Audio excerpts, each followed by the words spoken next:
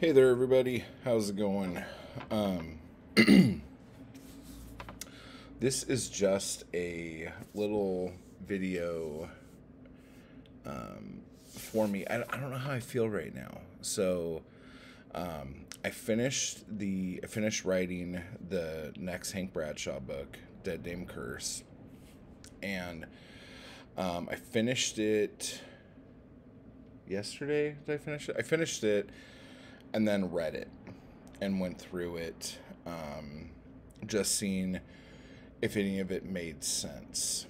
Um, because this book is a little different um, as far as Hank goes, because um, it's the first time I tried to take um, my hard boiled detective dude and put him in a like Agatha Christie type uh, mystery to solve. And um, it was weird. I didn't know how it was going to go. Um, and I'm glad I went back through it. Um, but you should go back through your stuff. But like in going back through it, I realized um, even stuff in that first chapter I posted up on Patreon. There were things said in that chapter that I had to um, change. I had to go back and change a bunch of stuff in the first chapter because I had um, changed how things were going when I started writing it. So um, that was interesting. Um, and then one like one of the things that just like blew my mind is that one of the characters' last names is Hall. Like you walk down the hall, okay? And for some fucking reason, and I don't know if this was a like a autocorrect spell check thing or something like that, but for some reason half the time it says Hill. And um I'm like, what the? Like, I'm just like totally confused. I don't know why I would have done that. Um, but whatever. So that was really confusing. I'm like, who the fuck is this guy?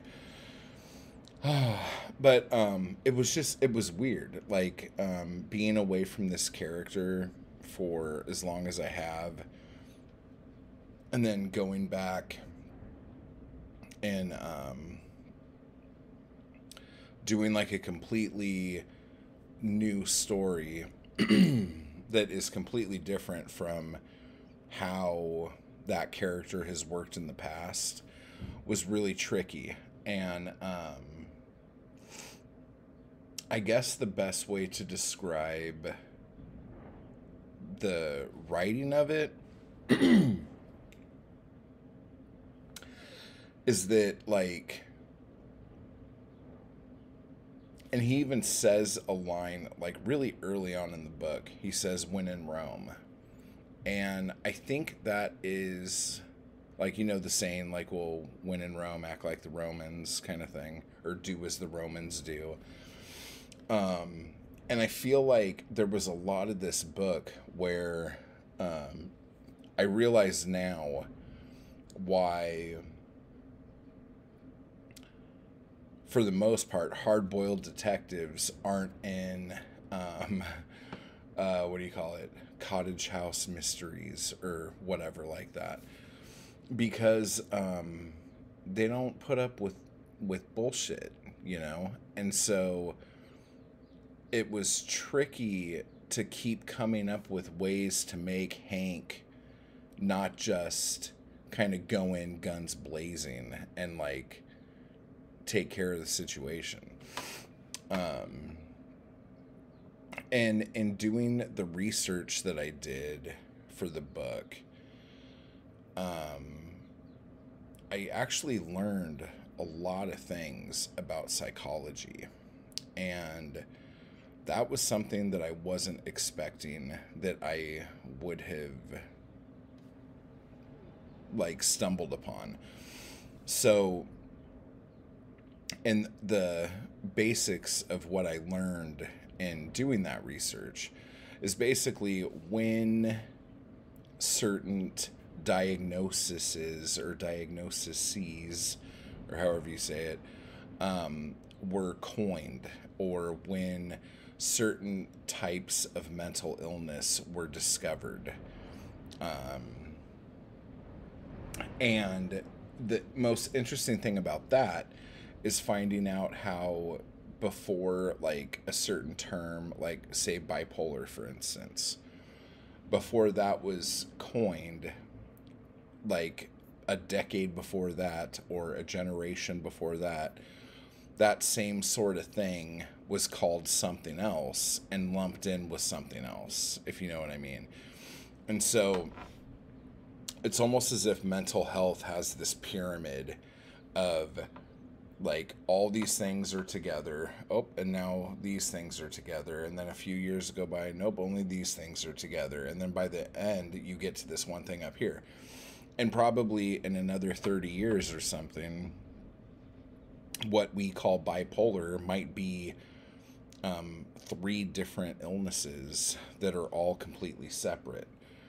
Um, or not illnesses, but like um, what's the word like? Uh, or I guess that would be a mental illness. Um, I, I guess is how that works.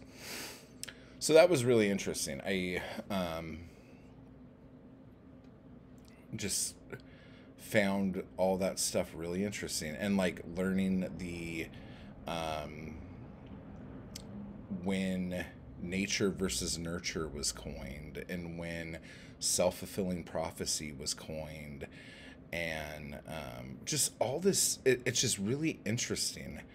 Um, and i never ever thought that that would be anything i would need to be like looking into. I don't know if you could hear that. I might be killing background noise or whatever. But anyway so it was really fun. Um, i feel like I need to kind of go back and um, I mean I'm definitely going to go back and clean up some things that again I felt clunky or I felt were clunky. Um,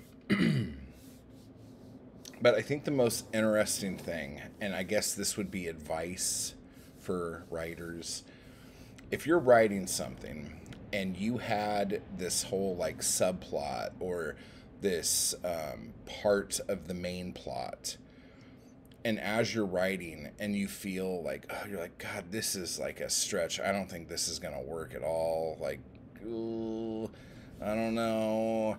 Um, if you ever have that don't get rid of it right away.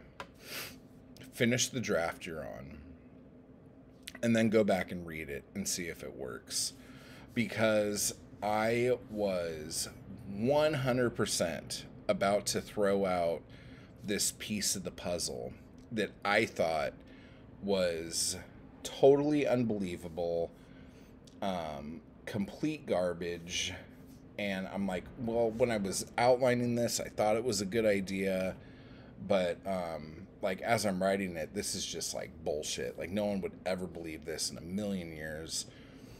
And then, um, I finished it and read it.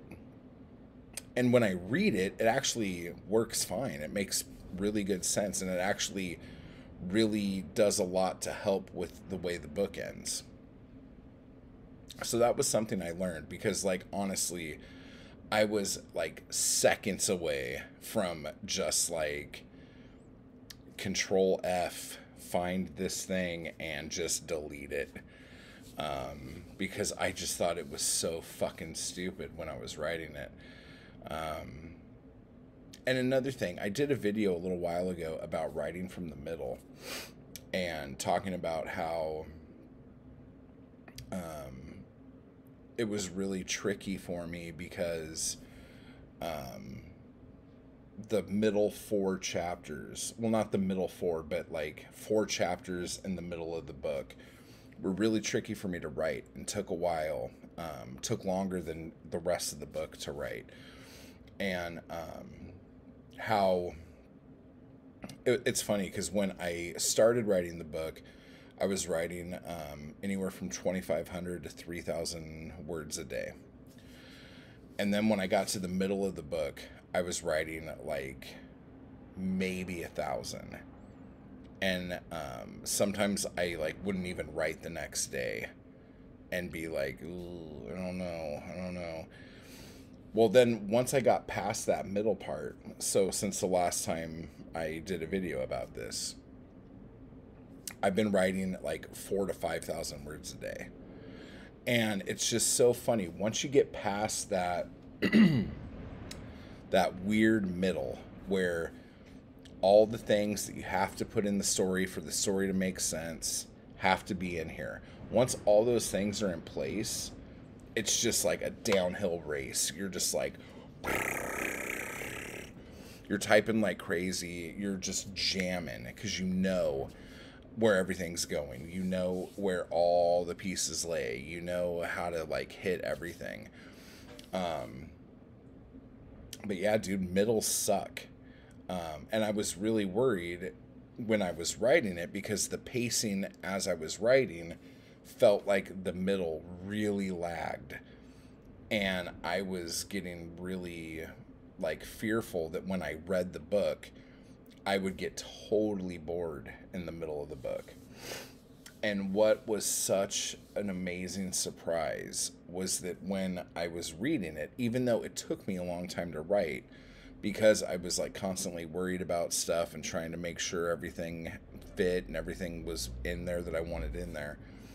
I, w- I was afraid that it would just like the pace would just like drop and it would just be a slow, boring read. But when I read it,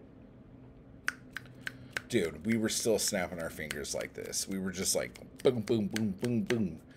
Um, so like that made me feel a lot better. So I think too, like when you just finishing a book is so fucking powerful for you as a writer because you're like, I did it. I finished the book. Like, yeah, I need to clean some stuff up. Yeah, I need to go through um, and make sure all the halls are hills and none of the hills are halls and stuff like that. But um, you're just like, it's so good for you. And it's just like, you're like, yeah, I could do it. And like, I've written, I don't know, 20 books now. Um, and still finishing one makes me feel like that sense of accomplishment. Like, oh my god, I can do this. And it's like, yeah, no shit, you could do this. You've been doing it, you fuck. But like, um, I still need that, like, mm, like, yeah, you, did it, dude. Um, so I'm glad that happened. But anyway, so this is just like a sigh of relief for me that A, I finished the book, and B, all the fears I had while I was writing the book aren't fears. Like they're they were they were not founded. Like it all makes sense. It all flows perfect. Um, there's a couple.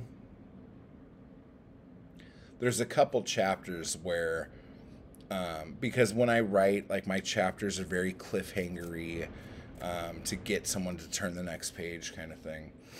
And I think there's a couple chapters where the things that I thought would be cliffhangery aren't cliffhangery. It's like, oh, okay, whatever.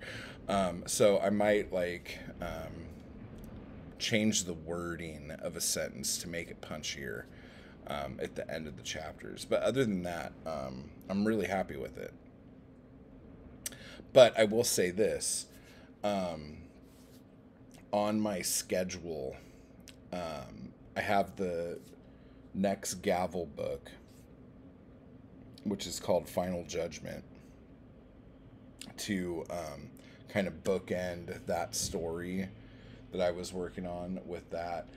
And then I'm going right back to another Hank book because I need to write Hank in like the dirty streets of the city, um, dealing with the scum of the earth and all this other stuff. Because this, like, putting him in this thing that, like, I would never have put him in like other than the fact that I had a neat idea for a story. Um, I, I just I want to put Hank back in the streets and um, just for me, like I fucking need that as a palate cleanser. So anyway, so that's what's going on. Um, as soon as like cover art's done and um, all that other shit, um, I'll let you guys know and all that. So um, again, um, the first three Hank Bradshaw Dead Dame books are up on Amazon. Um, Dead Dame on the Floor, Dead Dame Walking, and Dead Dame in a Trunk.